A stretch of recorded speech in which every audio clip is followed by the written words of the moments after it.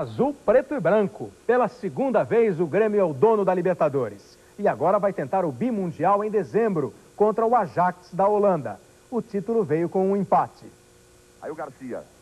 Ele é habilidoso, hein? Cruzamento do Santa. Aristizábal vai nela. A chance de Aristizábal bateu. Gol!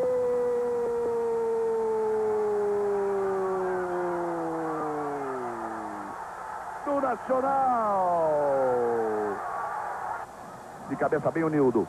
Olha o toque, esperto, tentativa de Alexandre. Acredita Alexandre. Mete a cabeça nela. Vai embora Alexandre, caiu na área, ficou pedindo pênalti. O juiz vai dar o quê? Ele vai dar o quê? Pênalti! É pênalti! É agora. Dinho no pé direito. Iguita no gol. Autoriza o juiz. Partiu Dinho, pé direito, bateu! Gol!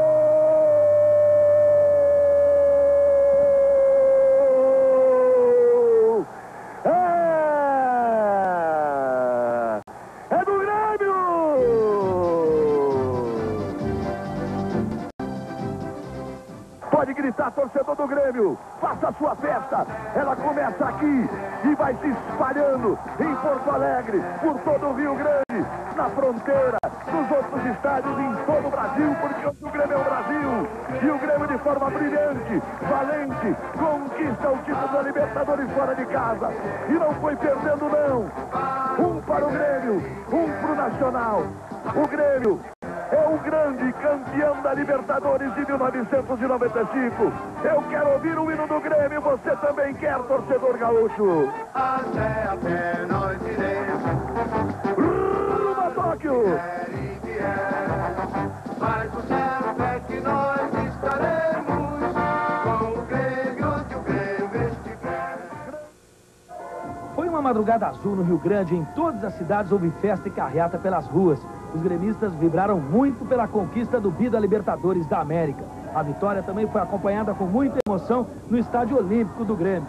E depois da festa que virou a madrugada, a expectativa agora é aqui no aeroporto Salgado Filho, onde muitos torcedores já estão aguardando a delegação com os jogadores bicampeões da Libertadores da América. O Grêmio chega daqui a pouco e esse é o clima aqui em frente ao aeroporto. Vieram excursões de todo o Rio Grande do Sul. São esperadas mais de 500 mil pessoas que vão acompanhar o desfile que os jogadores vão fazer pelas ruas de Porto Alegre no carro do Corpo de Bombeiros, saindo direto do aeroporto até o Estádio Olímpico. E a espera valeu. Agora há pouco, a delegação do Grêmio chegou da Colômbia e desembarcou no aeroporto Salgado Filho, em Porto Alegre, trazendo o grande objeto de desejo, a taça de bicampeão da Libertadores da América. Parabéns ao Grêmio e uma boa tarde para você. O time de Ribeirão vence